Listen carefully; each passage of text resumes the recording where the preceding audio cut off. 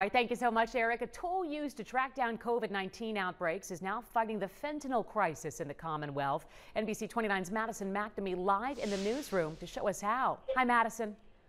Well, Casey, Governor Glenn Youngkin is calling on the Virginia Department of Health to use wastewater testing to find where fentanyl use spikes in the state. Now, VDH will be looking at communities as a whole rather than specific homes or blocks to find where to focus.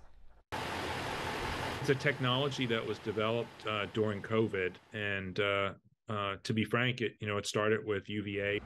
A technology with roots in Charlottesville will now be expanding across the Commonwealth to fight another issue. Last year, 2,000 Virginians died from fentanyl poisoning. And so that's more than motor vehicle deaths and gun related uh, deaths combined.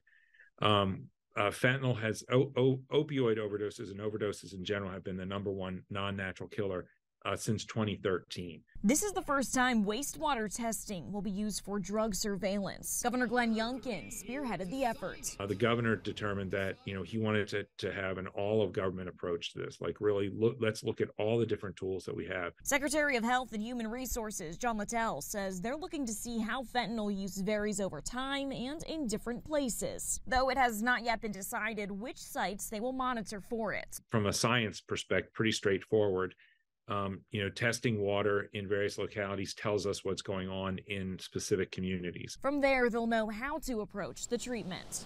The Department of Health, the community service boards, emergency rooms, poison control centers.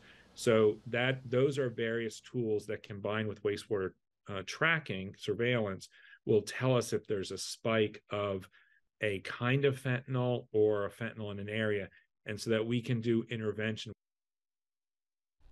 John Littel says the VDH is working with localities now to figure out how to conduct these tests in a cost efficient way.